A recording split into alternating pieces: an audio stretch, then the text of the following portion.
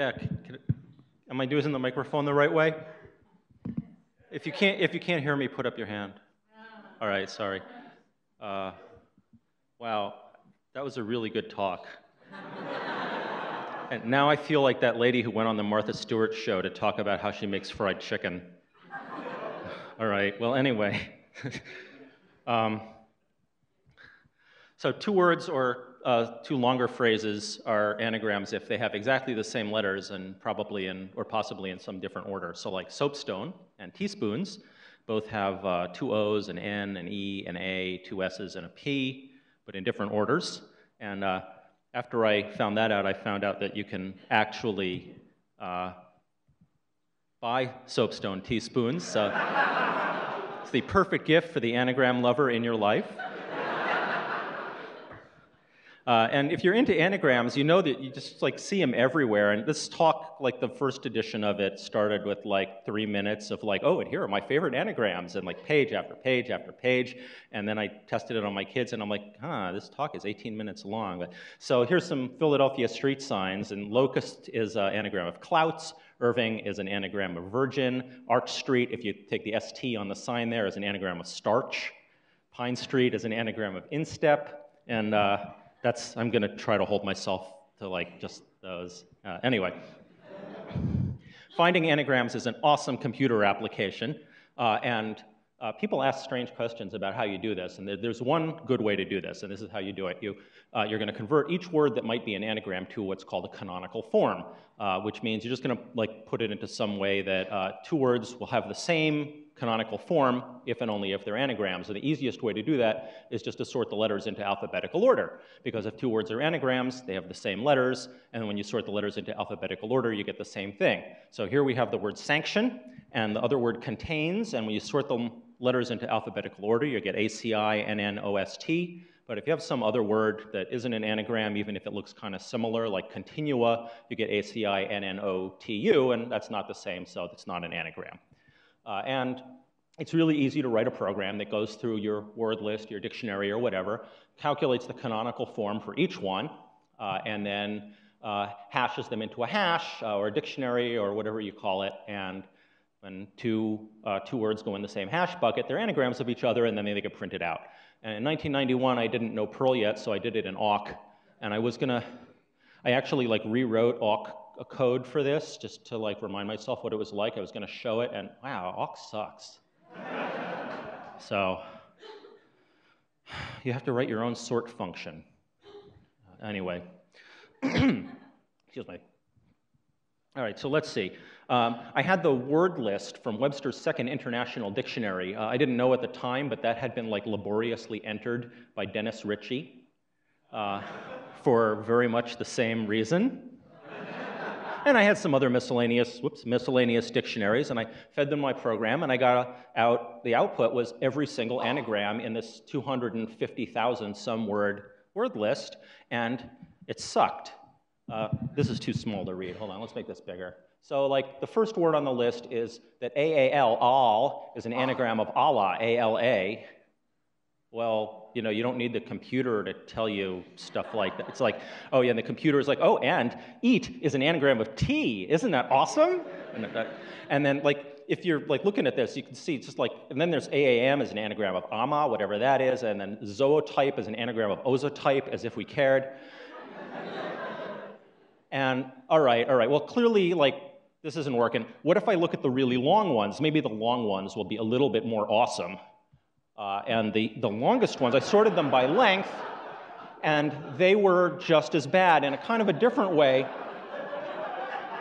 The one I want to focus on here uh, is kind of, it's, it's cholecystoduodenostomy, right? So there's at least two things wrong with this. One of them is what the heck is a cholecystoduodenostomy? It turns out cholecysto is the gallbladder, and duodeno is the duodenum, which is like the bottom end of the stomach, and uh, stomy is like a surgical procedure to make a hole from one to the other. Stomos is like Greek for hole. So it's when you make these things should be like connected, but they're not. So you make a hole between them. And then the anagram of that, cholecystoduodenostomy, is duodenocholecystostomy, which is when you make a hole from the duodenum to the gallbladder. So, A, these words are words that nobody knows, that's a problem. And B, the anagram is boring. And if you can look at the other ones, like they're all like boring in the same way. Chromophotolithograph, photochromolithograph. so there's 40,000, 44,000 entries in this, in this file. There must be something good in there, and how are we going to find it? And cholecystoduodenostomy gave me the idea of like, okay, here's, here's what's wrong with this. Um, it's got too few chunks because you chop it into three chunks and you switch the gallbladder and the duodenum and right and maybe anagrams with more chunks are more complicated. And that idea has a lot to recommend it. For example um, if we say that a score is how many chunks you have to cut the thing into before you can rearrange it to make the other one then okay short words will always have a low score because you can't cut a five letter word into more than five chunks. And uh, mathematicians will tell you, well, every word has an anagram. It anagrams to itself. And you can say then, but yes, but that only scores one. And they'll have to say, oh, well, all right then.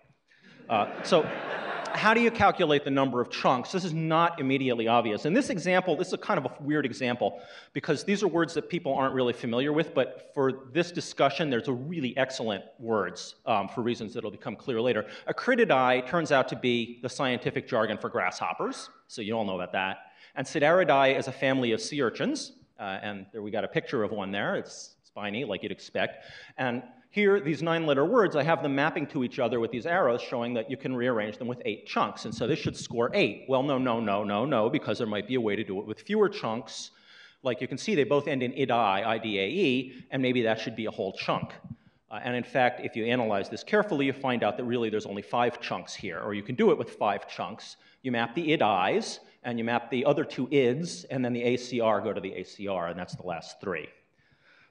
Hmm, all right, so how do you find that? Well, you know, the id kind of jumps out at you, and it turns out actually, though, that there's three different ways to do it with five chunks. It's really not that obvious, and I could stand here and claim that you can do it with four chunks, and who's going to gainsay that? Come on, Plotkin? I don't think so. All right, right. So how do you calculate the minimum number of chunks? And in 1991, I wrote this program to do this, and it's really simple. It just tries every possible mapping between the letters. And you first think, well, okay, but there's nine letter words, there's nine factorial possible mappings. No, no, no, no, we don't have to do that because we know the C has to go to the C because there's only one of each, and the E has to go to the E, and the R has to go to the R, and then there's only two places the A can go because there's only two A's in Cidaridae. And so it says, all right, well, there's two places the A's could go. Then it recurses, it maps the C to the C, and it maps the R to the R. And then it says, okay, there's two places the I could go, and it recurses again. And it only has to recurse like nine times and make six possible choice points. So um, there's only eight things it has to check, and it quickly comes out with the fact that the, the least chunky, no, least chunky, most chunky? The fewest number of chunks is five, because there's only eight mappings to consider. Uh, some of them are, some of them are harder than that. Like to handle cholecystoduodenostomy, there's 7,680 possible mappings, and in 1991 that took a while, um, like a few seconds. And to do the whole dictionary of a quarter million words took, you know, like two or three hours or something. But the results, results were totally, totally worth it. Um, because I found the single best anagram in English, and I'm going to tell you what it is. One of the words is cinematographer, which is like as familiar and well known as any 15 letter word could possibly be. And what does cinematographer anagram to? It anagrams to Megachiropteran, which isn't that familiar, but it's a giant bat. It's a giant bat. Death from above! Ah!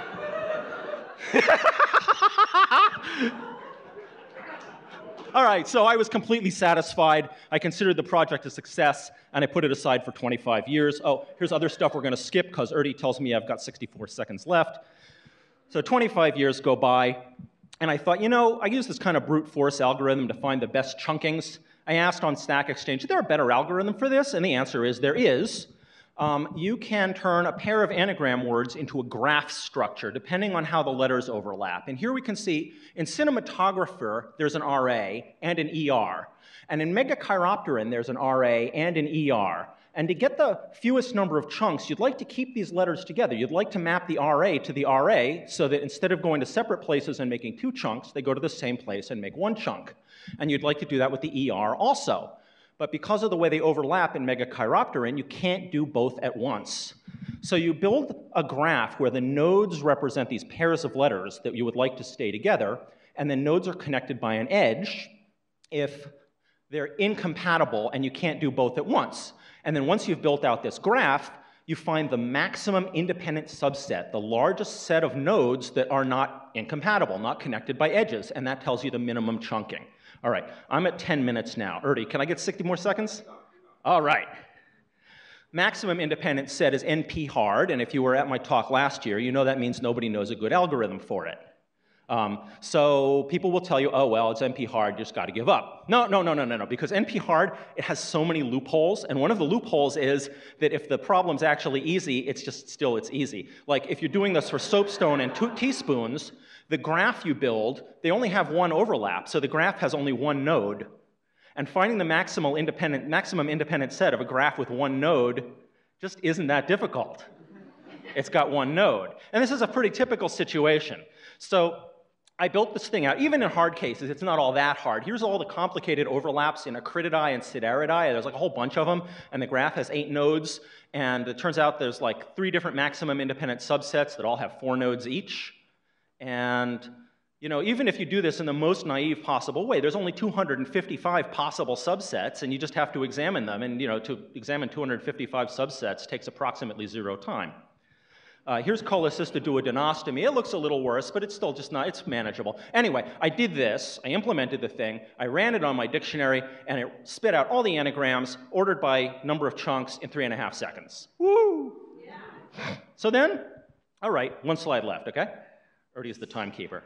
So I am a data hoarder. Um, I'm, no, I guess I am proud, actually.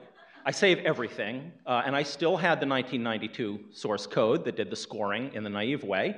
Uh, it did take me a couple hours to hunt it up. I, you know, lost it, but I found it again. And uh, I ran it because I wanted to know what is the actual improvement here from using the better algorithm as compared to like using 25 years worth of better hardware. And so I ran the old code, which used to take two and a half, three hours, took four seconds.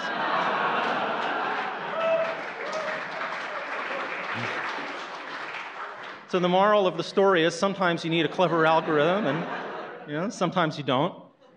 And then I. Thank you all.